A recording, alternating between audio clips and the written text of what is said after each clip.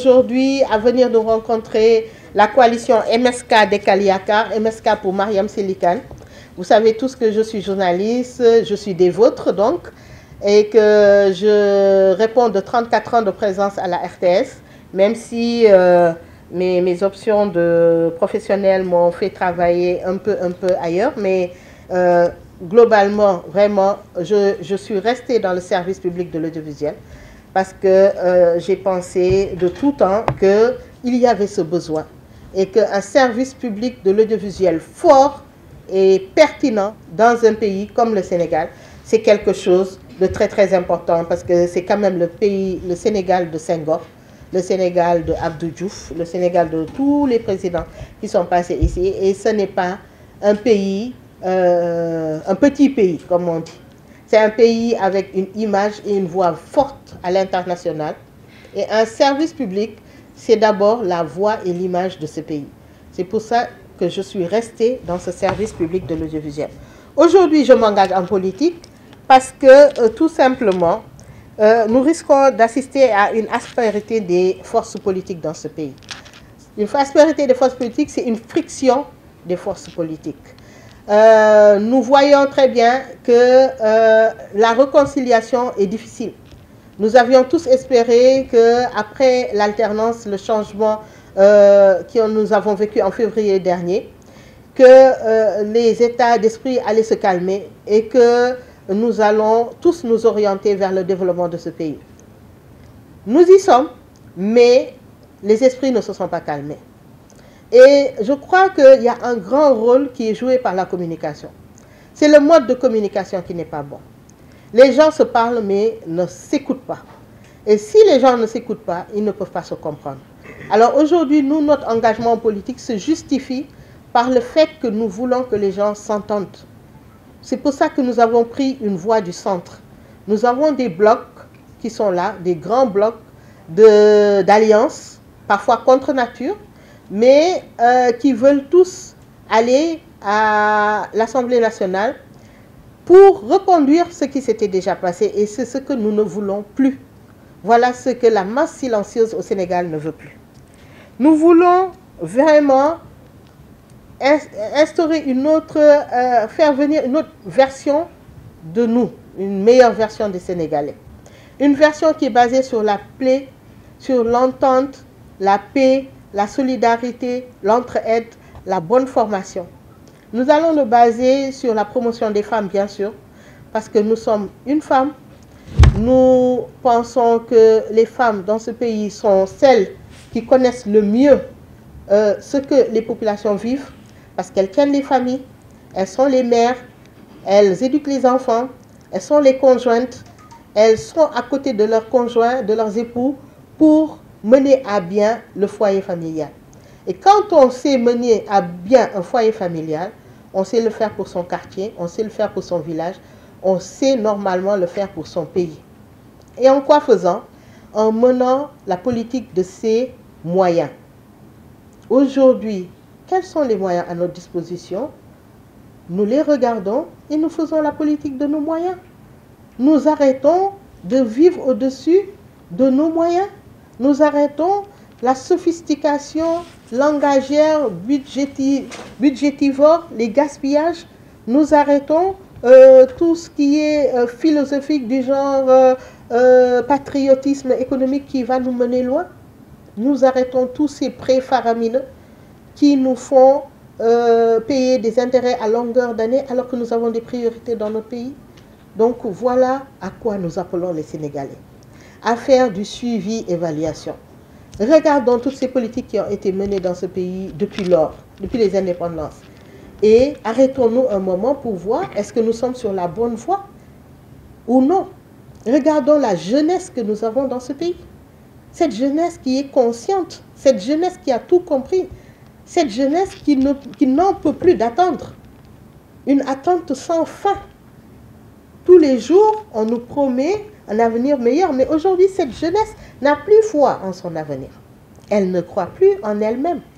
Elle ne croit même plus qu'elle est capable de changer les choses. Elle a tout fait. Elle a milité, elle s'est battue, elle s'est sacrifiée, Elle a été tuée, elle a été massacrée, elle a été torturée. Et in finish, qu'est-ce que nous avons? Attendons encore. Jusqu'à quand? Voilà pourquoi nous voulons investir l'Assemblée nationale avec du personnel nouveau, avec des visages nouveaux, avec des voix nouvelles, avec des directions nouvelles et proposer des solutions simples, réalistes, à hauteur d'homme. Rien de sophistiqué. Quelque chose qui peut être réalisable, à la limite même, qui peut être euh, monitoré, variable, indicateur, résultat, comme en nouvelle. Et proposer des solutions simples, réalistes, à hauteur d'homme. Rien de sophistiqué. Quelque chose qui peut être réalisable, à la limite même, qui peut être euh, monitoré, variable, indicateur, résultat, comme en euh, management de projet. Après la jeunesse, la formation, bien sûr, parce que cette jeunesse, même si on trouvait des mécanismes de financer son employabilité, il faut d'abord qu'elle soit formée. Si la jeunesse n'est pas formée, nous ne pouvons pas arriver à nos fins. Voilà pourquoi nous voulons qu'il y ait des lycées professionnels dans ce pays, beaucoup de lycées professionnels. S'il s'agit de l'enseignement général, de la sixième primaire à la troisième du collège, ça suffit largement. Après, il faut inciter les gens à aller vers la professionnalisation. Et derrière, mettre en place des débouchés. Nous voulons aussi parler de la promotion de la presse.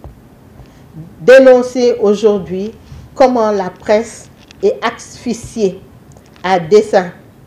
À dessein, je dis, parce que le résultat, c'est de faire taire certains. Et nous sommes d'accord de faire taire certains. Mais si c'est ça le but, la main ne doit pas trembler. Elle doit être directe. Le président de Côte d'Ivoire, quand il est arrivé, il a pris le pouvoir. Avec une seule signature et un seul décret, il a fermé 52 organes de presse. D'un seul coup en l'assumant, en expliquant qu'ils étaient un pays sorti de la guerre et qu'il fallait absolument ne pas se divertir et faire focus sur le travail. Moi, je suis de la télévision. Je sais que c'est récemment, il y a 5-6 ans, que des télévisions privées existent maintenant en Côte d'Ivoire. Pendant tout ce temps, il n'y avait que la chaîne publique. Et j'y suis allée plusieurs fois pour travailler avec RTI. Alors si le but c'est ça, faisons-le proprement et clairement et surtout, expliquons-le, motivons-le. Si ça n'est pas ça le but, eh bien, la presse, je vous dis, ce n'est pas un monde où on gagne de l'argent. C'est un monde de prestige. C'est la voix et l'image d'un peuple. C'est faire valoir le savoir-faire d'un peuple. C'est faire valoir le génie d'un peuple. C'est le rayonnement international du Sénégal. Aujourd'hui, les patrons de presse sont à l'agonie. Les entreprises sont à l'agonie. Ils ne peuvent pas payer les salaires, payer les impôts et gagner quelque chose. Non. Ils vont peut-être payer les impôts, mais ils ne payeront plus les salaires. Ils vont venir lâcher dans le monde du chômage des nouveaux euh, euh, adeptes. Donc voilà les grandes lignes. Sur les finances publiques aussi, euh, il y a des choses à dire. Cette histoire d'unicité de caisse, de trésor public, nous payons des impôts qui servent à payer des dettes et c'est un cercle vicieux. Nous avons des solutions et des réflexions là-dessus. Nous voulons que les impôts locaux restent dans les collectivités locales pour changer nos cadres de vie, pour que nous ayons des écoles décentes pour nos enfants, que nous ayons des routes praticables, que nous ayons des jardins, que nous ayons des... Voilà, nous voulons vivre. Nous voulons vivre maintenant. Et je crois que nous devons inviter tout le monde à la réflexion et à la concertation pour trouver des solutions. Le Sénégal l'a déjà expérimenté lors des assises euh, nationales. Pourquoi ne pas nous concerter? Pourquoi laisser toujours la parole aux mêmes qui, euh, bon an, mal an, vont se reconstituer des coalitions, vont se reconstituer des blocs, reviennent et ce sont toujours les mêmes qui reviennent, toujours. Aujourd'hui, je crois que la masse silencieuse veut et doit exiger d'avoir de personnel nouveau au niveau de notre Parlement. Merci beaucoup. Alors, sur... Euh,